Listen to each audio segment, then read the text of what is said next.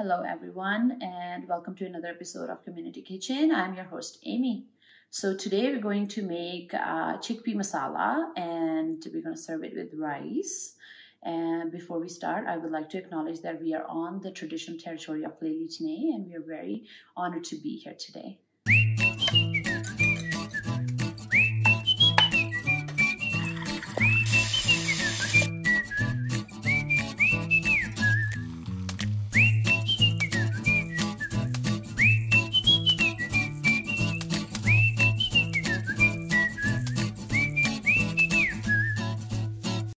Okay, so let's look at the ingredients. Um, so I have here um, onion and uh, tomato paste.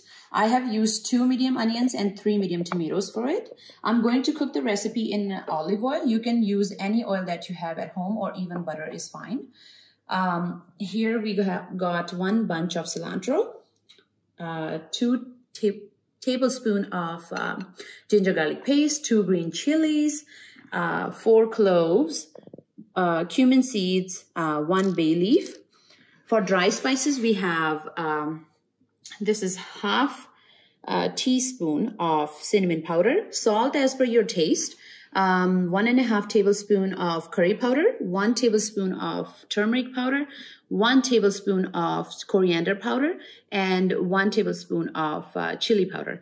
And we have used um, pre-cooked canned um, chickpeas for this recipe.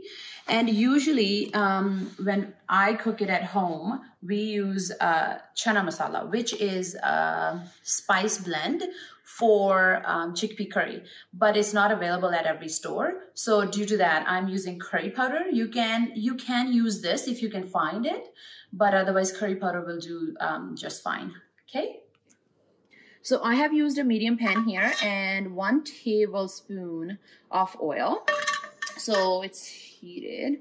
We're gonna go ahead with our cumin seeds and cloves.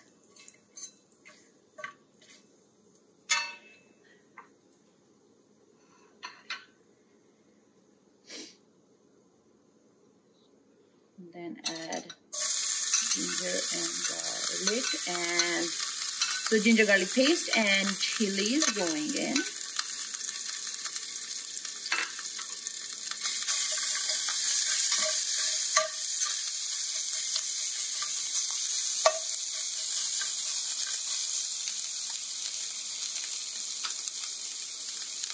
You're gonna let it cook for like a minute or so.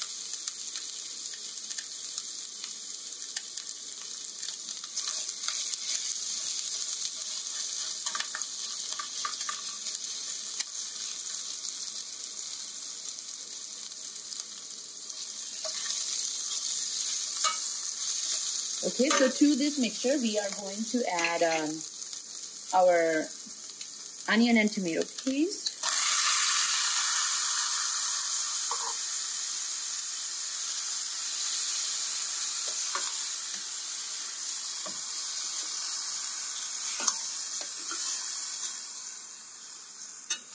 Okay, combine it well.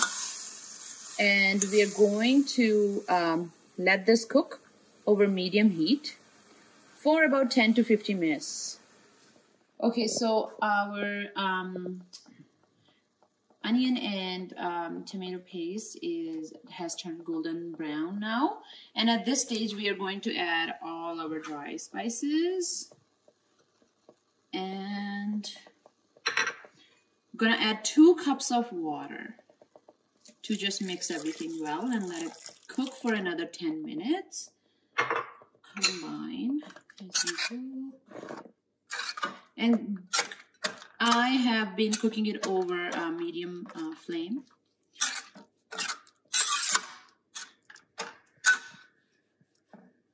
And there it is. Perfect. So we're gonna let it cook for about 10 minutes so that uh, the spices can blend in and everything okay? Okay, so our gravy is ready. I'm going to add our chickpeas into. So I drained out all the water from the cans because I added water separately. So mix it well.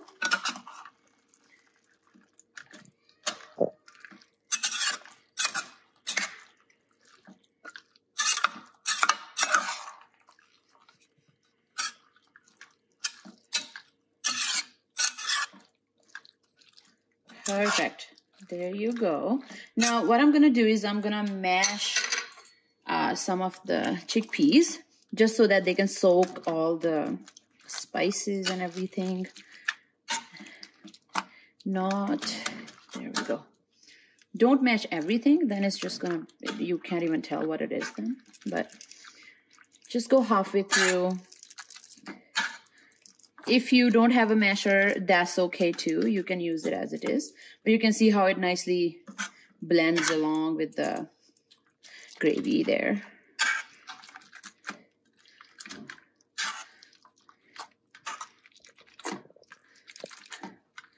Perfect. And, um, and there you go. So this is ready. I'm just gonna leave it on heat for about a minute or so so that it can just all combine and come together. Now, one thing that I forgot to mention in the ingredients is uh, lemon. So at this stage, I'm going to take half lemon and just squeeze it in. Okay, perfect. And then mix it again. You can turn off the heat at this point and just let it sit there.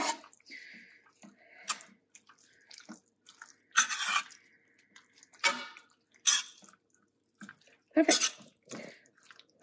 Alrighty, and I'm gonna garnish it with uh, some cilantro.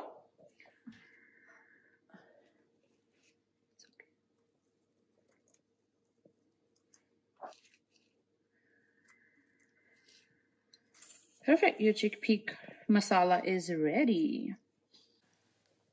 Okay, so our chickpea masala is ready.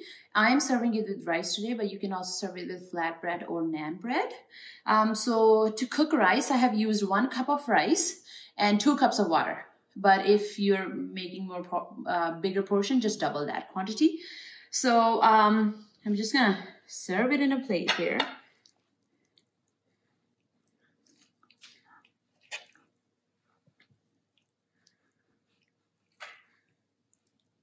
Just a really nice restaurant look. Awesome. And I'm to garnish it with more cilantro. Perfect. There you have it. So enjoy. So do try this recipe at home and let us know how it turned out. Perfect. Until next time, have a great day. Thank you.